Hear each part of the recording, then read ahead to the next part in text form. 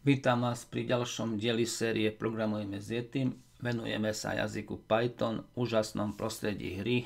Cool Combat! V tomto videu si prejdeme level s menom Strach z dverí.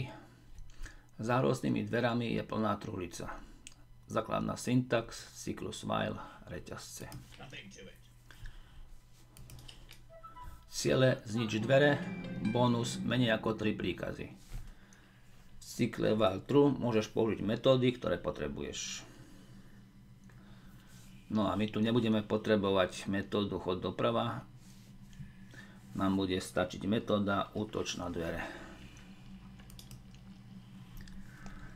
Takže opakuj útoč na dvere.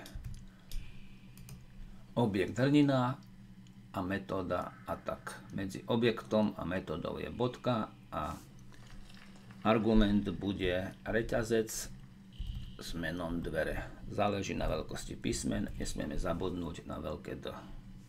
Program je hotový.